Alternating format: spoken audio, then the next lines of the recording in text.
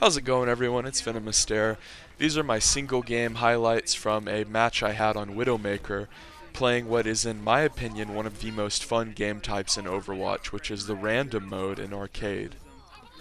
Now if you don't know what the random mode is, it's very simple.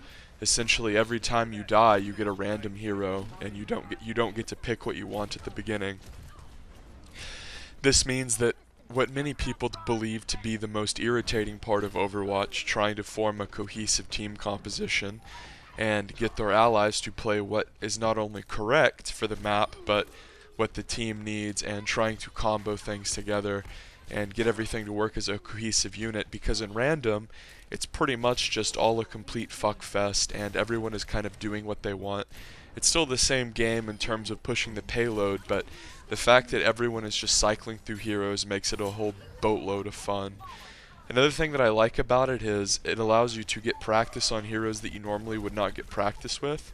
And the fact that whenever you die, your ult timer zeroes out means that there's a lot less ultimate spam, and it means that there's more gun on gun engagements, which I think is more fun to play against as a whole.